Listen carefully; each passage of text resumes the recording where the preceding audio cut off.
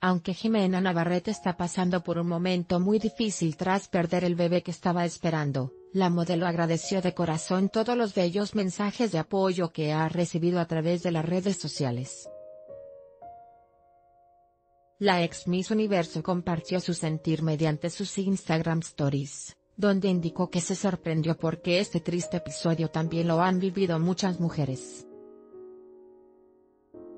Además, Jimena Navarrete pierde el bebé que estaba esperando a todas mis seguidoras y amigas compartiéndome por DM sus historias de vida y de pérdidas de bebitos. Les agradezco en el alma que abran sus corazones. He leído cada uno de los mensajes que me han mandado. Todos y cada uno son importantes y valiosos para mí. Las admiro, respeto y comparto el dolor de perder un bebé. Estoy completamente sorprendida por la cantidad de mujeres que hemos pasado por esta situación, expresó la tapatía de 30 años. Hace unos días, Jimena compartió con sus seguidores que había perdido a su bebé tras 15 semanas de embarazo. Ahora, ella y su esposo, Juan Carlos Valladares, están tratando de asimilar este doloroso momento para salir adelante.